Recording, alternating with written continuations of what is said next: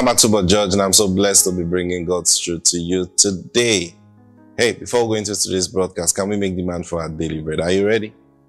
Say this with me. Say, Father, I demand right now my daily bread. It's coming to me in Jesus' name.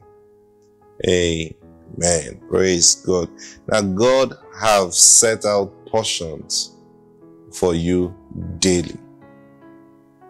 Now, you, you, you, we read yesterday about Nebuchadnezzar and Daniel, how the king apportioned daily meats for the people he was watching over.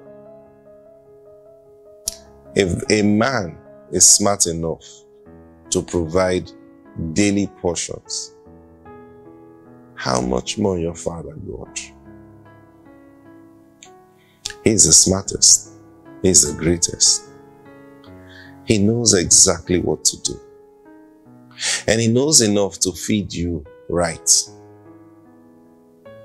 See, when the children of Israel came out of Egypt, God was feeding them with manna and he was feeding them daily. You see, they could have gathered enough manna that would last them a week as they continue their journey. But God said, no. I want you to be feeding daily, fresh. It wasn't the people that suggested, it was God's suggestion. He said, look, don't gather more than in this portion. If you do, it will turn sour. They thought he was joking. Some of them went to, and then they saw it. They saw maggots and worms in the food. What was God up to? It's His nature, brothers and sisters. It is His nature to provide your daily portion. That's His nature. That's His design. Daily portions for you. Yesterday's portion was yesterday's portion. Don't live on today with yesterday's portion. Don't live, don't live your life today with yesterday's portion. What you got yesterday, praise God, glory to his name, but there is another portion for today. Can you let this sink in your heart? Because you can't continue living like one who, who God is just trying to manage. No, God is not trying to manage you. He abundantly supplies for you. Oh, Pastor, if it is so why am I not receiving everything? That's why I'm teaching you what I'm teaching you so that you begin to meditate on it and, and meditate on it and begin to speak and, and, and declare it then it becomes a normal thing to you. That every day you expect goods from God. Praise God. Yes. That's how this thing works. See. Now, our team scripture, you remember Acts chapter 4 they prayed. They said, Grant unto your servants that with all boldness they may speak your word. I remember last week I was telling you, listen, anything that's trying to gag your mouth, anything that, that is hindering you from teaching and speaking in the name of Jesus. Now, speaking in the name of Jesus is way of sharing your testimony. So first of all, there must be a testimony to share. What is your testimony about Jesus? Not what somebody else told you, what you have experienced with Him. Everyone must have an encounter with the Lord. Everyone. Hey, how can the Lord have an encounter with everybody? Oh, yes. Yes. And that encounter is what produces your testimony. And your testimony is what he expects you to tell around the world. He's not telling you to go and teach Bible. That's why we have a lot of confusion in the world because a lot of people, rather than tell their testimony about Jesus, they are preaching Bible. And so they say, we're teaching doctrine. There is no that doctrine than telling your story. I'm telling you the truth. Yes.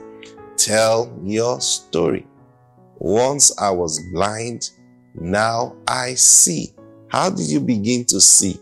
There is a man who came and he touched my eyes and told me to go and wash.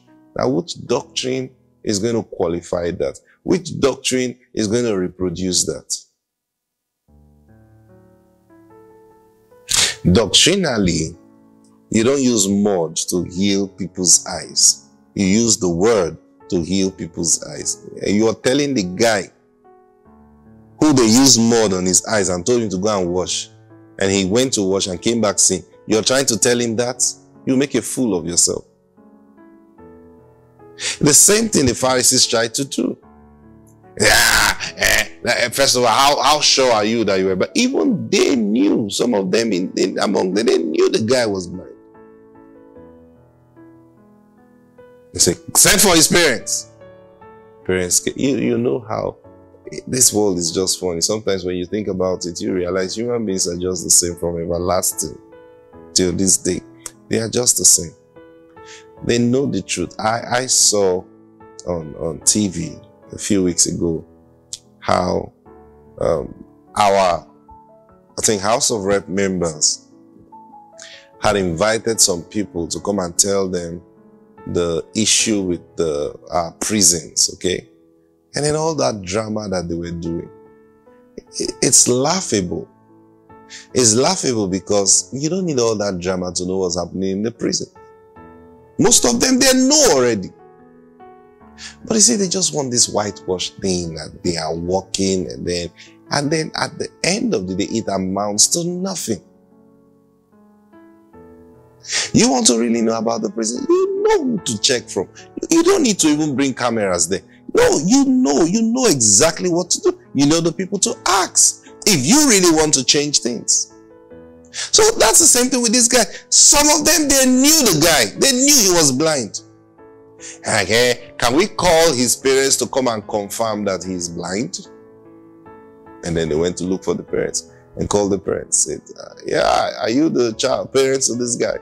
So yeah, we're the parents. Was he born blind? Yes, he was born blind. Now, have you noticed his sin? Yes, so we are all giving thanks to God that he's sin. So how did he start sin? Then the parents thought to themselves that uh, I'm sure this guy have told them why they not listening to him. So like, well, we know he's our son, and yes, he was born blind. But how he started seeing, we don't know. He is of age. Ask him, let him explain by himself. Wise answer. Because the next thing they would have said, they were like, Were you there? Um, no, no, no, we're not there. You are false witnesses. Get out of this place. That was where they were aiming, aiming at. So the parents were smart and wise. They said, Well, we know he's our son. Yes, of course, they can prove that. And he was born blind. Yes, they can prove that. But how he began to see, they know he sees, but how he began to see was what he told them. So they were careful not to be witnesses without real evidence and facts. So they say how he began to see, we don't know that one. He is of age. I believe he could he can tell what happened to him. And they went, well, um, uh, that man is not of God. The man said, I don't understand. I don't. The blind man, the former blind man said, I don't understand. Ah, ah, how can God answer somebody that is not of God? How can God hear a sinner? The man you're saying is a sinner. He healed my eyes. and, and they say, Will you shut up? What do you know? Now that's what the same characteristics. What do you know? We are your elders. We're telling something. What, what do you know? What, how long have you lived in this life? You that have been blind, what have you even seen? You just started seeing now you're trying to form you know. They try to shut the man down, but the man said, Well, I don't know what you guys are up to, but all I know is this. I was blind, and that man told me to go wash. He, he used, because they asked me, So how did he um, heal you? He, he rubbed something on my eyes and he told me to go and wash, and I went to wash and I came back seeing. You see? You see? What was it mud he used, or was it plasticine, or was it chalk? No, I think it's mud because when I washed it, I, I, I saw it was sandy, and, and they said, "You see, how can God?" And this, the, the, those guys argue. How can God use mud to put, does he want to destroy the eyes? This man's method are not real. Ah. The man said, well, I don't know what you're talking about. they troubled the man one time. He said to them, he said, well, I have told you before and you do not believe. Yeah, you're asking me again. If I tell you now, will you become his disciples? They got offended and threw him out of the synagogue.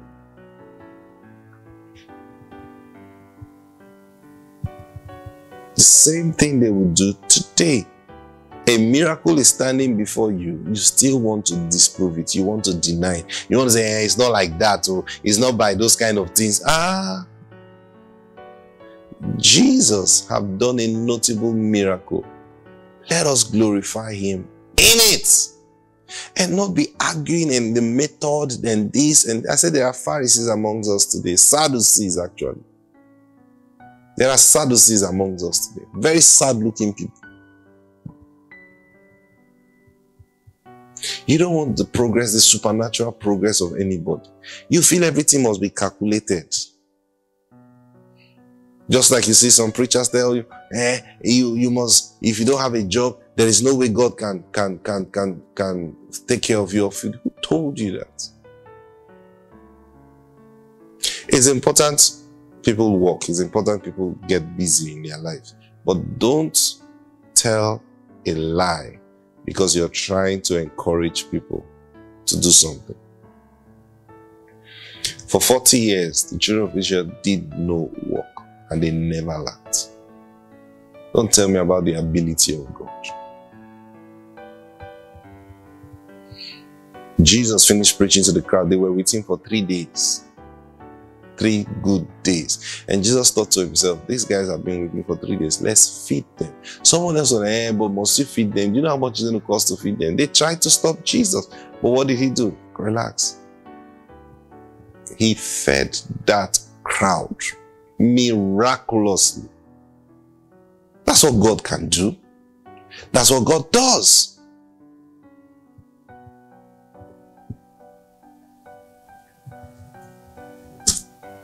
Thank you, Lord Jesus. These are the things we call signs and wonders. And as a child of God, you must believe in them.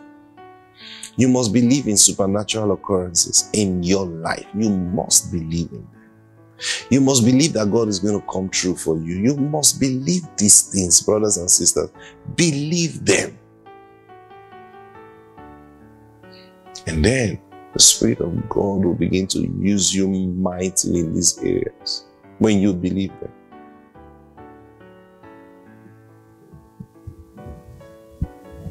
It's because of the things we believe. That's why we are bold.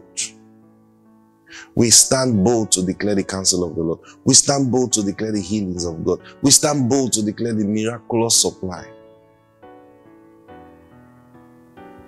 I was telling yesterday, you stand in that your office or wherever and you tell them, to give us six months, give us one year. We will know who's looking good. We will know who's doing well in this office. And then you go before the Lord and say, Father, I have thrown up a challenge. And I know you will not put me to shame. Then begin to do your work. Do your work diligently. Just do your work diligently. One day, someone walked into that office.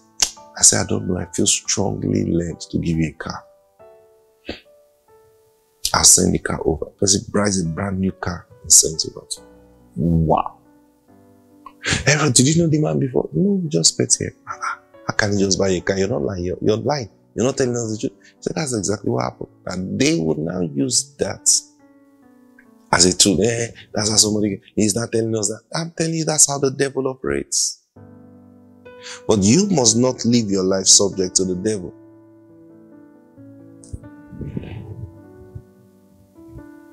In that place, a call will come that will bring forth your lifting.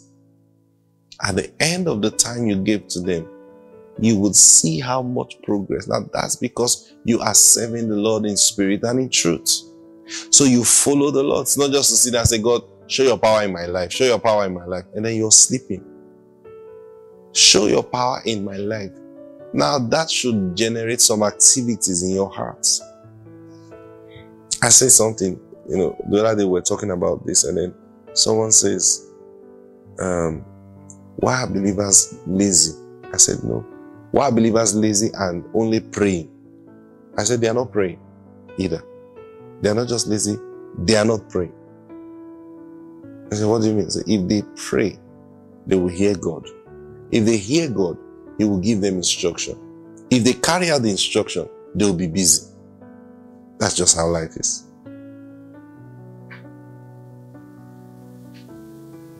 It's not just enough to say, I'm praying, I'm serving God. Oh, I'm, uh, if you hear God,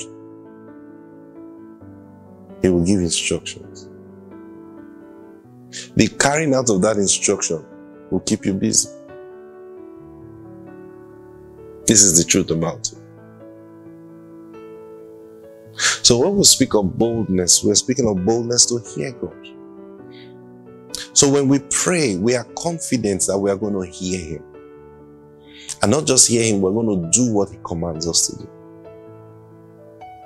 So it's a boldness in it's, it's a stirring in your heart. And then when you pray, you can decide, Lord, I'm going to pray until I hear you today. And I told you before, it's not about God speaking, it's about your reception. You you receive it.